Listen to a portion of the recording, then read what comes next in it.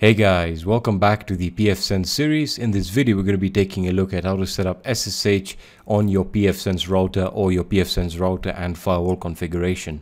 Alright, so uh, before we actually continue with this series, I just want to update you guys on my perspective and the way I'll be looking at things, especially when talking about pfSense uh, on, on both sides. So for now, when talking about configuring your router and firewall, I'll be looking at it from a systems or network administrator position or role.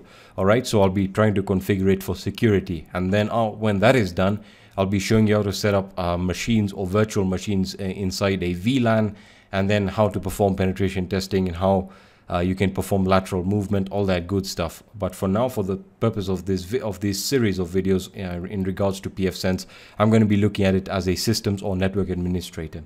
All right, now that I've, uh, I've essentially explained my perspective in this particular set of videos, we can get started.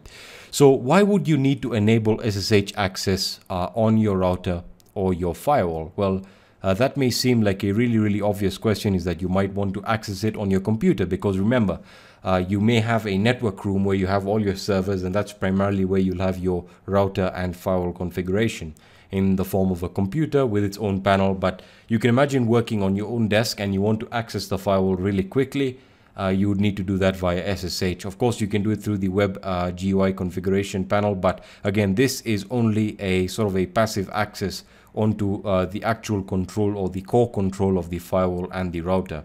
All right, so it's really important to understand how to do that. Now, the other reason is that if you do or are considering uh, setting up SSH to work on your WAN, meaning you can access uh, the firewall or router uh, from an external network or from home or remotely really. That's uh, what I was what I was getting to. So setting up uh, SSH access to access the firewall or router remotely so you could be home you could have left work and you want to access the router. Well I'll also show you how to do that right now. So those those are very very good reasons uh, for essentially enabling SSH access on your router and firewall so I'm going to be showing you how to do that as securely as possible now I'm currently logged onto the web GUI and I still have the same configuration as the previous video when I showed you how to install pfSense.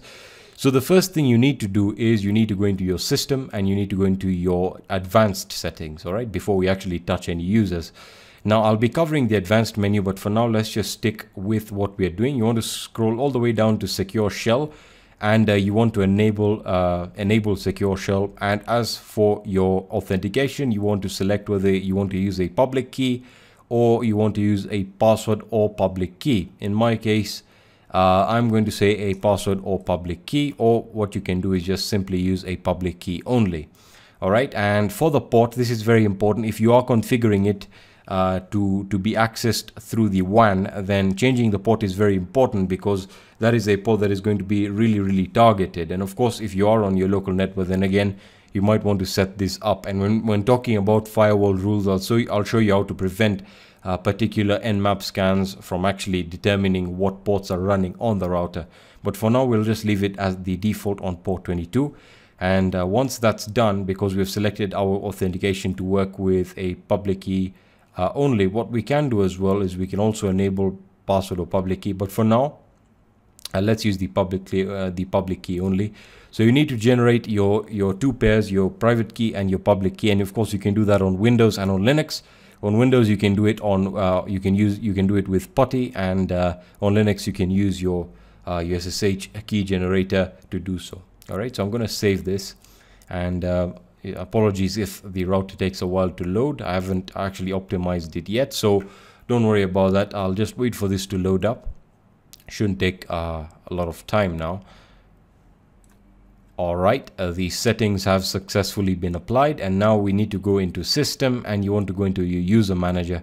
This is where we will be essentially providing our public key. So let us talk about generating your SSH keys, which I'm sure many of you already know how to do. So the first thing we need to do is we need to use PuTTY. Uh, we need to use PuTTYgen. If you're on Windows, if you're on Linux, you can simply use the SSH generation or the SSH key gen, and that'll essentially generate your keys for you uh, and you'll be able to log in. The only thing you need to do is you need to uh, you, you need to actually save uh, the public key. So I'm just going to generate here, and again we're just going to rotate around the screen here and just give it a bit of randomness here, uh, so that it can generate our key for us. and once it's done we should be good all right so this is your public key here and we want to save the private key because uh, yes we actually I'm going to provide a passphrase before I do that so provide a passphrase here like so and I'm going to save the private key and I'll just save it on my desktop here and I'll just call it uh, pf sense all right and I'm just going to hit save and that's done all right now I'll copy the public key here onto my clipboard and I'll edit my admin user. Now, if you want to create any users here, you can do it from this page. Uh, if you want to uh, also uh, separate uh, access or roles, you can do that from your groups and take a look at your settings. This is something I'll be covering later on, but hopefully you'll get an idea of what's going on. So if I wanted to create another user uh, who had uh, sysadmin uh, privileges, if you go to groups right over here, you can uh, go ahead and take a look at the at the role. So the group name is admins, and of course the description is the fact that this group is only for system administrators. So you can get a good idea of the roles here. What I'm going to do is I'm just going to hit uh, on the little pen or pencil here. And uh, you can, from this page, you can edit uh, the settings in regards to the user's access, etc. So the password here, I'm just going to specify the password right over there. So because I know it, it will prompt me to, uh, to actually confirm the password if I'm making any changes. You want to go down to keys and paste in the public key right over here. All right, and once that is done, we can just hit save. I'm just going to give that a few seconds right over here.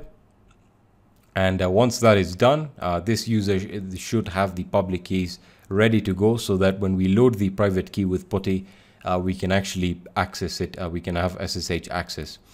All right, so there we are. Uh, the settings seem to have changed. Uh, now we can go onto our desktop here and we can load the pfSense key with Pageant right over here, which is part of the PuTTY suite. So I'm just going to load it up here. It's going to ask me for my passphrase. I'm going to hit OK. And uh, now we can open up a new PuTTY session here. And I'm going to type in the IP address for my router and firewall configuration, which is 192.168.1.1. Let me just increase uh, the, the font size here so that we can uh, actually see what's going on. Uh, and there we are. So I'm going to hit open and uh, just like that it is going to prompt us to log in apologies for the speed again uh, there might be a few connection issues that I still have to optimize all right it's going to prompt you to log in as and you're going to provide the username as it is on the PuTTY GUI configuration I'm going to hit enter and there you are so we are authenticated uh, via SSH to the firewall um, and router. So this is the screen if you have watched my installation video this is the console screen. And it's really awesome that you can have access to the screen via SSH because you can essentially control it even if the server room is miles away. Or you know if you're in another country you can essentially manage the company's infrastructure remotely. All right? So you can see that these are the settings that I had um, when I had set up the router. So we have WAN which is uh, getting its IP from my primary router which is outside my room or my office and then we have the LAN access here which is provided on the local IP one and the appropriate subnet which is 192.168.1.1 uh, so these are the the other options that you can interact with uh, on the console. Again, these are all things that we'll be taking a look at. So you can reboot the system, you can halt the system, you can ping a host, you can access the shell, you can restart the web configurator, you can uh, update from console, you can disable SSH as well. Uh, and you can also uh, you, can, you can of course reconfigure the interfaces right over here. And you can essentially control the entire uh, the the entire firewall and uh, router configuration all right so that is how to configure SSH on your pfSense installation uh, I hope that made sense if you have any questions in regards to the video please leave them in the comment section if you want to support the channel you can do so by uh, supporting us on Patreon we really appreciate all the support you've given us and I'll be seeing you in the next video. Peace.